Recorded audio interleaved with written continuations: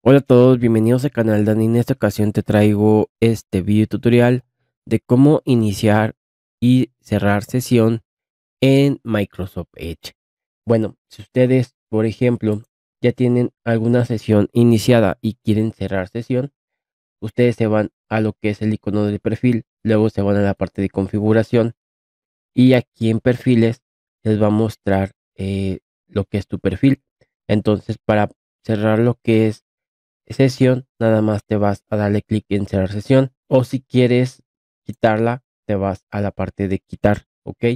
Entonces le damos en cerrar sesión, cerrar sesión y listo. Si cerramos esta pestaña y vemos que aquí nos dice que iniciemos sesión. Entonces, eh, aquí a ustedes les va a aparecer también que elijamos una cuenta.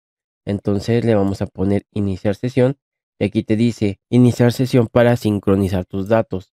En caso de que tú no tengas eh, alguna cuenta, le dan en agregar una cuenta, le dan en continuar y aquí ustedes ponen eh, su correo y la contraseña para que inicien sesión, ¿ok? Igual vamos a darle en iniciar sesión, ponemos la cuenta, le damos continuar y como ven ya iniciamos sesión. Si vemos en nuestro perfil, ya tenemos iniciado lo que es la sesión, ¿ok? Entonces ya ustedes aquí se van a dar en la parte de editar y pueden editar el nombre que les aparece como su nombre en lugar de que les aparezca como personal. Y aquí cambian lo que es la imagen.